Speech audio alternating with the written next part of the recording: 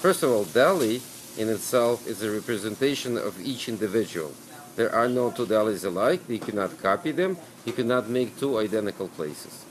It, it is an absolutely individual, unique situation in every. That's that's why there's not so many of them. That's why they eventually, when the owner tries to retire, they go out of business and nobody takes them over. A lot of cases. Sometimes they do, but most Jewish people they try to send their kids to school for, you know, doctors, lawyers, or somebody else. And that's the, the, the soul of the deli is being lost because of that. Because, you know, we were brought up on this stuff. Not maybe exactly on this. I'm from Lvov.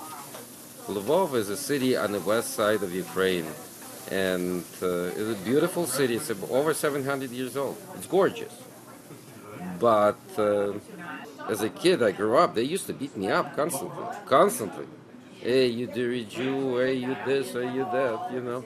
They constantly used to harass me. Detroit has one of the best meats. And also we have one of the best water here, so we have a very good bread. I've tasted bread everywhere so far. We have by far one of the best breads because you gotta mix flour and water, and we have very pure water around Great Lakes. But even though, the, I mean, having said that, in Chicago, the guy in one of the largest delis that I went to, he didn't have a good bread. I don't know, it's just not like ours. You know, if a person comes in and he wants to become a customer, we'll schmooze him enough where he comes back. It's, it's a combination of a lot of things because we, we just don't serve food here. We talk politics, we talk economy, we talk whatever, sports. He, see, he's a new customer. I know Dave for two months. And he came in here with his daughter, and the daughter was asking him about certain things. So I bought it into his their conversation like I was a part of a family. He loved it.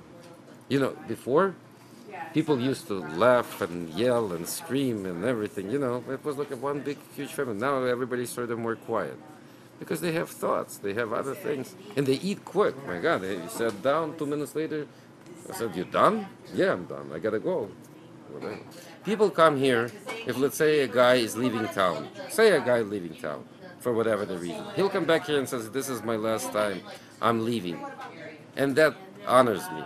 That makes me feel like he's a part of my business. You know, because maybe I don't know his name, but I know him by face. And he says this to me, so that means I'm not McDonald's.